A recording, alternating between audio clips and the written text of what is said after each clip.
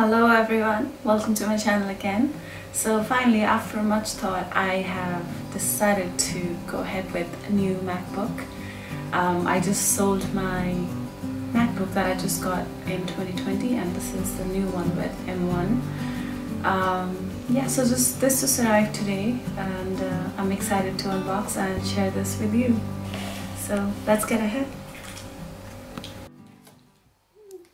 It's always excited to unbox the new stuff and the one that I sold uh, was also released this year 2020 and I got it on July.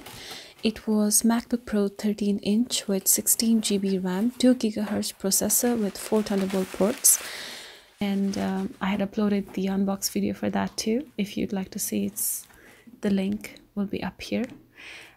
Um, I wanted to get this mainly due to its battery usage as it promised to deliver up to 17 hours compared to the last one which only lasted for 5 to 6 hours even though it promised to deliver up to 10. Um, I'm also hoping that this wouldn't get as hot as the last one. So the specs of this MacBook Pro um, is 8 GB RAM, 512 GB SSD in silver, if I have to compare physically, I do not see much difference. Um, it looks the same basically, except that now it comes with only two ports. I got this from Amazon for £13.99. It's £100 less than what Apple is offering on their site.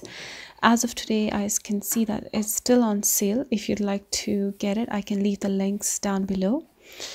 If you have any questions, please comment down below and I'll get back to you as soon as I can. If you liked my video, then please leave a like and consider subscribing to my channel. Thank you very much for watching.